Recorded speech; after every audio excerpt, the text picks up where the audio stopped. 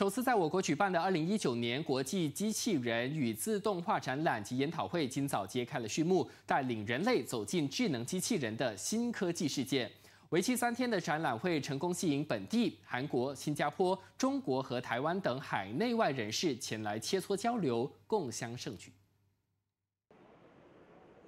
智能科技的用途越来越广泛，惠及人类的多样化生活。为配合我国政府推行工业四点零的发展前景，首届机器人及自动化行业贸易展今早在雪兰的沙南石达城会展中心拉开帷幕。各式各样的先进机器让人目不暇接。这台出自日本、名为 Pepper 的机器人，可以按照使用者的指示提供跳舞、聊天等功能，增强与使用者的互。动氛围。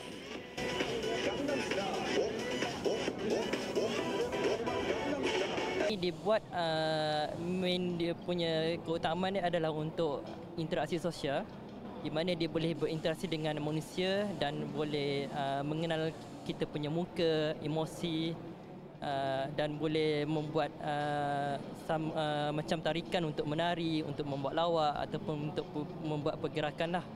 很多人认为科技技术的发展会摧毁人类的工作岗位，但其实机器是在帮助人类降低在工作引起的疲劳度，同时也在提高工作的强度以及产品的优质化。所以使用者和机器是能够达到互惠互利的目的。看到了，现在看到这个这一款协作机器人，它就是现在我们很多一些制造商很。就是很愿意去用的一款产品，它相较于人工来说的话，它的一个成本会比人工会要便宜很多。嗯，人工的时候，它会因为一种疲劳度，或者说说是工作的一种强度，会产生很多对产品产生很多一些